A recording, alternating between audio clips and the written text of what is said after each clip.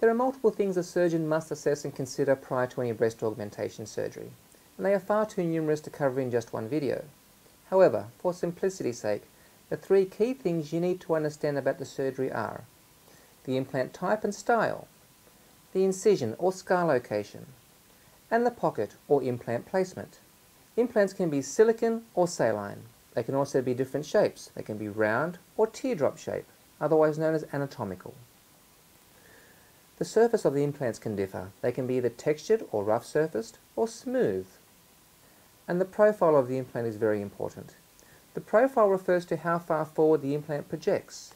They can be either moderate profile, high or extra high, otherwise known as full or extra full. And the consistency of the silicon gel is something else you need to know about. Silicon gel can either be firm or soft. Incision or scar location is the second key thing you need to understand. Most surgeons, including myself, place the incision within your lower breast fold. However, some surgeons may place the incision along your lower areola border, and others may place it in your armpit. There are pros and cons with each of these approaches, however, like I said, the lower breast fold incision is the most popular. Pocket placement is the final thing you need to understand.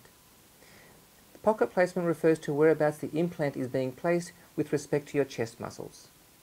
Now the implant can go in front of the muscle or under the muscle. However, it's really important to understand that the implant is never completely under the muscle. The lower third or so of the implant is typically below the lower border of that muscle. A dual plane is the next pocket type, and basically it's a variant of the under muscle approach. In fact, every under muscle approach is effectively what's called a dual plane type 1.